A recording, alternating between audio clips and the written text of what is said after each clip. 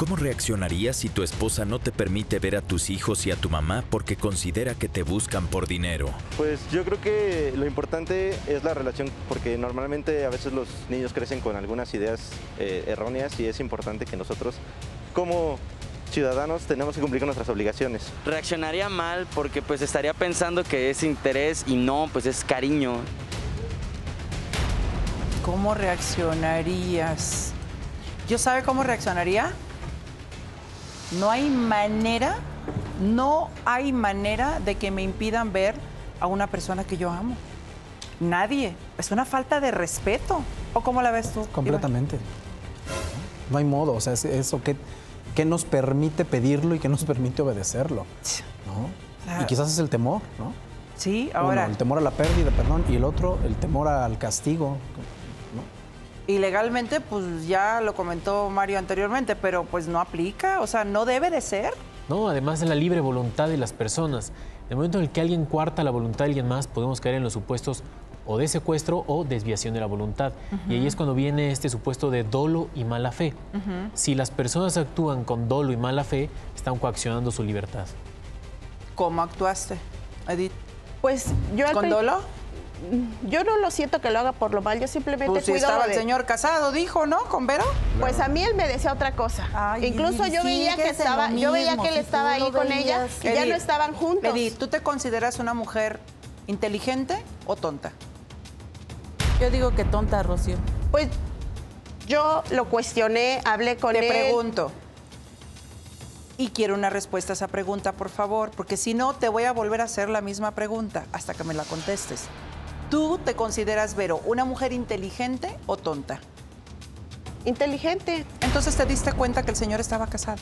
Pues, y si tú a mí me quieres sospeché. mentir, no lo vas a, no lo vas a, a lograr. Pero independientemente de eso, pues ¿para qué me quieres mentir? Ahora, te metiste a la mala, ¿para qué? Pues es que cuando él, Para cuando yo lo mantener a su conocí hija, a él, su él era, él era muy alegre. Él era, le Ya gustaba no, bailar. ya no. Pues ahora yo lo veo triste y todo Tú, es yo por también. culpa de No, ellos. no es triste, crees? no es Sí, triste, Rocío. porque ¿Sabes lo- cómo lo van a ver con Ya lo ve problemas. con ojos de aburrimiento. ¿Por qué? Porque ya no, no es tiene- aburrimiento, ya es hasta tiene- donde ustedes tiene- lo han llevado. Tú- ustedes la han tú llevado lo a eso. llevado. ¿Por porque qué? siempre Porque les llevan lleva, problemas. Rocío, lleva ver, la momento, cocina. Rocío. Lleva la cocina. Mira cómo estoy yo, entre la espada y la pared, Yo Rocío. no quiero ser usted, ¿eh? Y mucho menos vivir ¿Te donde das usted cuenta, vive. papá? ¿Te das cuenta? A ver, Sí, pero a ver, don Jorge. Pero te llevan puros mi hija. problemas. Ajá. La otra es mi esposa. Y tú lo mi único que estás esperando es- mi mamá. Yo no tendría yo no sé problemas si qué lo van a hacer ver porque bien. pues entre mi familia que tuve primero y mi familia tercera, pues me quiere ¿A quién prefiere? yo pues a mi mamá, a mi familia, o sea, yo prefiero a todos porque todos son mis hijos. De alguna u otra manera todos son mis hijos. No Obviamente. Ahora, eh, ¿por qué usted no hace nada por impedir ser manipulado y aparte impedir ser eh, pues dirigido en su vida? Es que mira, no es de que yo no pueda, sino simplemente no, he querido tener problemas Con ella. Edith. No he Ajá, querido con tener ella, problemas porque con porque nosotros- Y contigo. Muchas Con veces todos nosotros sí. Con mis me tíos. prohíbe o no me prohíbe, no simplemente veo que se molesta cuando llega Incluso mi es por su hija, salud. cuando se molesta que van mis hermanos Sí, a la porque le cocina a llevan por comer. momentito, está hablando don Jorge, Y- señoras, por favor, por su salud deberías de eh, dejar lo que decida el señor. Digo, por Dios, ¿qué, qué, qué Hasta el padece grado de que llega mi mamá también y eh, en el negocio se sienta a comer y pues yo la atiendo con amor, es mi, es mi madre, ¿no? O sea, yo la Obvio. atiendo con amor y con Permite todo. que la corra. Y ella A la como reina su que- corona. Como que pone cara, ¿no? Yo cuando la conocí a ella, yo sí estaba con otra persona, ¿no? Pero ella no era así, no sé de repente qué le pasó, ¿no? Eh, inclusive yo mi cabeza eh, se me meten otras ideas, ¿no? Yo, Como por ejemplo, pues cuando yo la conocí no era así. Pero ella ¿qué ideas tenía, ella meten? tenía a su hija y yo nunca a su hija le he hecho un feo. ¿Y cuándo Hasta la cambió? fecha le he mantenido también a la niña.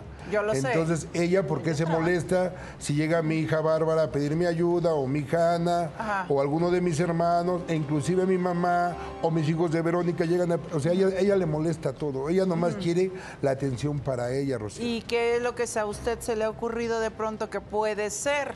Pues ojalá, y no sé, no, ¿Cómo pero piensa? este. Usted, aviéntelo. Pues que a lo mejor anda con otra persona, Rocío, y por ¿Cree? eso ya no es la Por misma atención cambio. conmigo, ¿no? O sea, Mm. se El me ha metido a la ellos. cabeza, ¿no? Porque ella cuando empezó conmigo no era así, y un de repente ya todo le molesta, este, como que todo lo que hago yo le cae mal, y como que eso no está bien, y aquí falta dinero. Espérame, pues el negocio es mío, la casa es mía, o sea, Pero es que tú lo dices ahorita así, padre, así lo dices ahorita. Pero ¿por qué no lo haces cuando estamos contigo? ¿Por qué le das el por no tener problemas con ella. Porque él O sea, también te se ha dado cuenta que tú vas nada más a buscarle problemas. ¿Y tú qué andas buscando con el señor, con don Jorge? ¿O qué buscabas? Yo y hice una vida con buscando? él. Yo hice una vida con ¿Tú él. crees que eso es vida, mamacita? Llevábamos Rocío, una buena vida. Ajá. Yo, yo estoy de acuerdo en ¿A que qué le llamas buena vida? A cancelarle a un ser humano que dices amar su vida pasada y a decir, no, pues sí, te casaste y tuviste hijos, pero pues no los vas a poder ver. Es más, pues yo conozco hasta a tu mamá, pero tampoco la vas a poder Sí, ver. porque O sea, hasta el grado ha llegado, Rocío, perdóname que te rompa, que ni a sus hermanos, o sea, mis hijos con ella, no los ha dejado que los vea mi hija Bárbara. Es lo que comentó Bárbara recién Y eso está mal, ¿Qué le porque mis hermanitos enseñar? también me preguntan, me también mis hermanos, sus hijos, ¿Qué o sea, le pueden hijos, ser? me preguntan por sus hermanas. Ajá. Lo mismo Ah, que ¿le preguntan a los niños? me preguntan porque yo les hablo. A ver, tienes pues tantos ahí- hermanos, tienes tantas hermanas. Ojo con eso, porque ahí se está violentando los derechos de los menores, independientemente de muchas otras cosas. Sí, claro, ellos tienen derecho a conocer a sus hermanos como convivir con su padre y, y madre. Y en el momento en el que un menor de edad expresa su voluntad, debe ser valorada y elevada a ese nivel. Si el menor de edad dice, "Eh, papá, quiero conocer a mi hermana, y le dice la mamá, no puedes, directamente al papá, está coaccionando la libertad del menor de edad. Distinto a cuando es un permiso, que es eh, la libertad de educar. Pero aquí al impedir en el desarrollo del menor de edad, claro que está violentando el sano desarrollo del menor de edad y eso es grave, ¿no? Estamos velando por el desarrollo del menor de edad. Claro, o sea, porque aparte, ¿qué explicación le puedes dar a un menor de edad? No, pues no los puedes ver. ¿Por qué? Pues incluso mis hijos se han dado cuenta. Se han dado cuenta que su papá está tranquilo. Oye, llegan ellos. si viven en la misma casa, ustedes dos, Sí. porque tu versión es una y la versión de don Jorge incluso como que es muy parecida a la que dice Porque Bárbara. no o sea, se da cuenta o- por el amor que le tiene a su hija, no se da que no se cuenta de que llegan que a buscarle a problemas. padre, eres tú. Según Por tú. eso Es mis, que mira, mis hijos tampoco no quieren trato convivir de con tener ella. problemas porque pues yo Más bien trata de no tener trato problemas. porque yo mi pues ahora sí mi, mi vida ha sido em, Ha sido un poco difícil. Ha sido que era yo difícil. che- chamaco era un poco difícil mi vida. Me mataron a mi padre y yo tuve que ayudar a, a la- a mi madre para sacar a mis hermanos adelante. Entonces por lo mismo no me gustan problemas. ¿Te das Trato de cuenta? calmar Siempre las han cosas. estado- ¿Puedes sobre él. callar tantito con res- por respeto? El señor está externando sus sentimientos y no tiene ni siquiera un poquito de sensibilidad, Edith. Es que Me molesta, no tienes idea sobremanera. O sea, un poquito de empatía, ¿no? O sea, está, fíjate, luego, luego me dicen, es que, es que yo no sé qué pasa en, en tu foro, que, que, de, que de pronto eh, es como increíble cómo las personas se abren y dicen cosas que en su casa no son capaces de decir. Pues es muy simple la respuesta. Aquí hay confianza, aquí hay libertad de expresión, aquí reciben apoyo y lo más importante, la verdad reciben amor, se sienten arropados y es a lo que venimos. Entonces, es de verdad, don Jorge, de eso se tiene que dar más permiso, seguido, de poder expresar abiertamente lo que siente, lo que piensa, lo que le molesta, lo que le incomoda, lo que le hace daño. Esas son las cosas que enferman. Yo ni siquiera he querido reparar en qué es o cuál es la enfermedad que dijo ahí Edith, así como que de, de tropezón, que usted tiene. Pero yo casi le puedo decir, o padece de los riñones o tiene diabetes. ¿Qué tiene? Padezco del riñón. Es emocional. Voy y dije, no soy doctora, ¿eh? no vayan a empezar con, sí, es que luego me mandan DMs.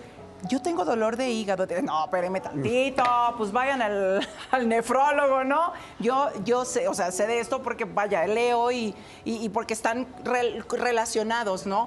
Todo tiene origen, to- toda, toda enfermedad tiene un, un origen psicosomático, se le, se le llama, ¿no? Y bueno, por eso es que pues sí, los riñones tienen que ver con las emociones, con los sentimientos, con todo lo que retenemos y no nos permiten expresar. Ni siquiera porque nosotros queramos o no queramos, sino porque el entorno no nos lo permite. Ojo, ¿qué tanto se ama usted? Eh, pues sí me quiero, me quiero, quiero No, quiero no. las cosas. No, ama. Me amo demasiado. Ah, pues yo creo que tiene muchos motivos para amarse. Muchos motivos. Y tiene un valor que he visto, gracias a Dios, en muchas personas. Así que vamos a resolver, ¿le parece? Sí, vamos a resolver.